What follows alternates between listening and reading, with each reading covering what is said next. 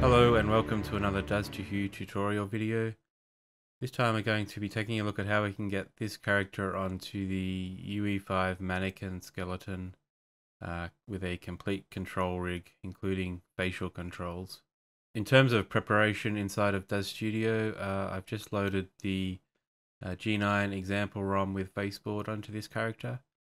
Um, if you don't want to load the entire ROM onto the character, for example, if you don't need facial controls, at the bare minimum, you're going to want to load the retargeting poses. Uh, and in particular, we need frame one of the retargeting pose, which is our um, UE5 pose. This UE5 retargeting pose is critical to this workflow. Uh, and there might be scenarios where we actually want to adjust it, but we'll take a look at that later in the video. Other than that, the character and the clothing are both subdivision level 1, and I've gone ahead and disabled collisions on the clothing.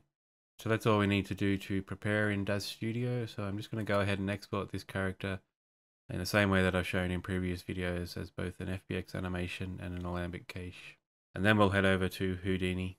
So here we are inside Houdini. Uh, I've gone ahead and prepared this character. Um, I'll just quickly walk through the critical paths to getting it onto the UE5 mannequin skeleton. So starting on the skeleton node, we obviously want to make sure that the target skeleton is UE5 mannequin. Now this reference frame, if you recall in Daz Studio, our UE5 retargeting pose was on frame 1. So this is set to frame 1. If you happen to put your retargeting pose on another frame in Daz Studio, you can change it here. We need to add the IK bones in order for foot IK to work properly. And I've gone ahead and added these other helper bones as well, even though they aren't strictly necessary. That's all we need to do really. Um, obviously on our set node, I've loaded up the G9 example ROM with Faceboard. That will give us all the face, morphs and controls. And so now we can just export the character with the selected options. Once that's done, we'll jump over to Unreal Engine. Okay, so here we are inside of Unreal Engine. Uh, the first thing I'm going to do is add the third person level feature pack. Once that's done, I'm going to open up third person level. Just going to quickly fix up the lighting. I hate the uh, default lighting comes with the third person level blueprint. Something like that'll do. So now I'm going to go to where I want to put this character. Going to right click and import on the import options dialog box, there's a couple of things we want to make sure we're setting up correctly. Uh, the first is that for the skeleton, we want to target the SK mannequin skeleton. We want to tick use T0 as ref pose. Make sure that use T0 as ref pose is ticked. Do not tick the update skeleton reference pose. I repeat, do not tick the update skeleton reference pose. That will mess things up. Um, we are using morph targets, so we want to import morph targets. Make sure that's ticked. The rest I think is fairly optional depending on how you want to do things. I'm not creating a physics asset. You don't need to import the animations. Uh, and I'm also not creating materials. I've already set up materials for this character before. So with that, I'm going to hit import all. Okay, so that's finished importing and close this log window. First thing I'm going to do is open up our character here and I'm going to make sure we're on the skeleton tree and come to this cog in the top right or wherever it is on your layout uh, and select show retargeting options. I'm going to right click on the pelvis and then I'm going to select this option recursively set translation retargeting animation relative. This is important for making sure our character stays in its correct pose. And then the last thing I'm going to do here is just on the pelvis still, I'm just going to set it back to animation scaled. So pelvis is animation scaled, everything under the pelvis is animation relative. And I'm going to save that and close that for now. We'll come back to that. So the next thing I'm going to do is just to check that this character is working properly on the UE5 mannequin skeleton. So I'm going to come down to third person, uh, blueprints, open up the third person character blueprint, select mesh, and then here under the mesh section, I'm going to change the skeletal mesh over to the character we just imported, which is KT9. Going to compile and save that just going to test it. So we can see our character is now working on the UE5 mannequin skeleton. We have foot IK working.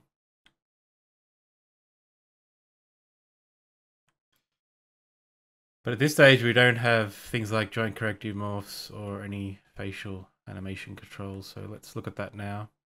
So what we need to do is basically prime the mannequin skeleton with all of the animation curves that uh, Daz2Hue requires. So some of the curves, so the morph targets, for example, were created when we imported our character. There are some others that aren't on this skeleton at the moment. It's because we just added it to our project at the start of this video. So unlike the Daz2Hue native skeletons, I couldn't include the SK mannequin skeleton with everything already set up. So we need to sort of prime it ourselves. Um, but it's relatively straightforward. So what I'll do is come to the Daz2Hue content section into the mannequin folder and I'll go to the corresponding folder depending on what our character's base figure type is. So in this case, I'm using a Genesis 9 figure. So I'll come to the Genesis 9 folder. Now what I want to do is select all three of our pose assets here. And then I'm going to right click and replace skeleton. I'm going to select that SK mannequin skeleton. And as I say, that will prime the skeleton with what these pose assets need. I'm going to do something similar for our animation blueprint for Genesis 9. I'm going to right click it and assign skeleton. Again, we'll select the SK mannequin skeleton. And then as one final step, and this is optional, um, if you want to use the uh, ARKit um, facial animation mapping, you need to come to the common folder and right click and replace skeleton and again select the SK mannequin skeleton. Now this ARKit facial mapping is only uh, relevant for Genesis 9 and Genesis 8.1 figures. It won't work for Genesis 8 or 3 figures. So after that I'm going to save all just to make sure everything's saved. Now I'm going to go back to where our character is and open it up uh, one last time. Under the asset details section I'm going to search for post under post process anim blueprint, I'm going to select this ABP DTH Genesis 9 UE5. Again, you would select the one that corresponds with your base figure type. We now have joint corrective morphs and all the facial morphs working on this character. The last thing I need to do is add the control rig to it. So again, under asset details, I'm going to search for rig. Under default animation rig, I'm going to select CRDTH Genesis 9 now make sure you select the DTH control rig. Don't use the control rig that UE includes with the SK mannequin skeleton. So after that we can save this and close that and we'll just make sure our character is still working. So now it's working as before but now we have uh, joint corrective morphs for example working. So to test that the control rig is working we can now drag this character out into the level and I'll come up and add a level sequence. Under track, I'll select our character. You can see now it gets the control rig added to it. At this point, we can start to manipulate the character.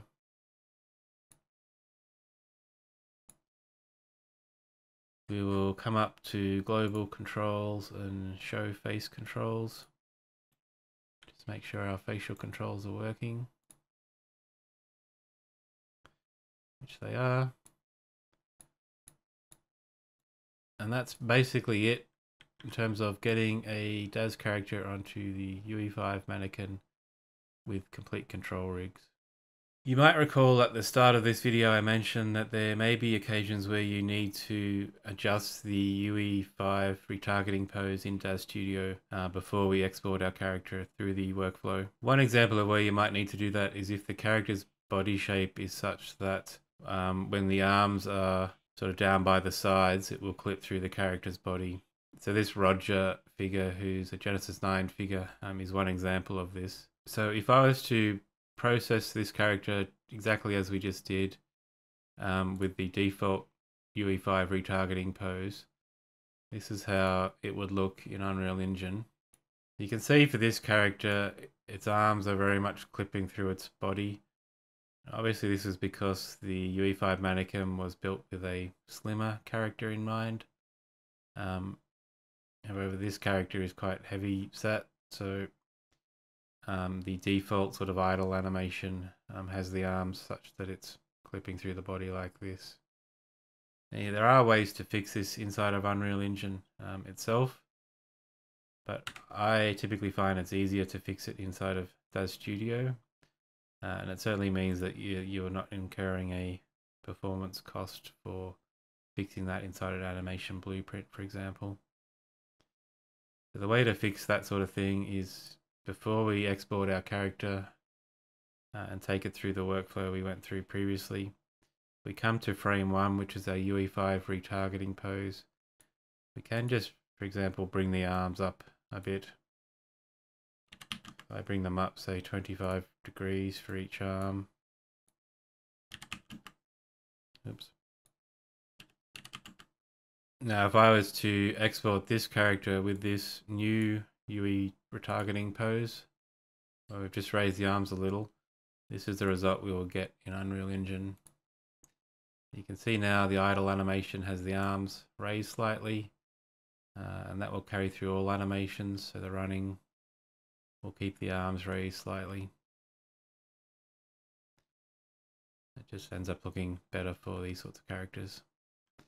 So I just wanted to point that out that you are free to alter the UE5 retargeting pose before you export and process your character, uh, depending on the character's body shape or anything else you want to adjust.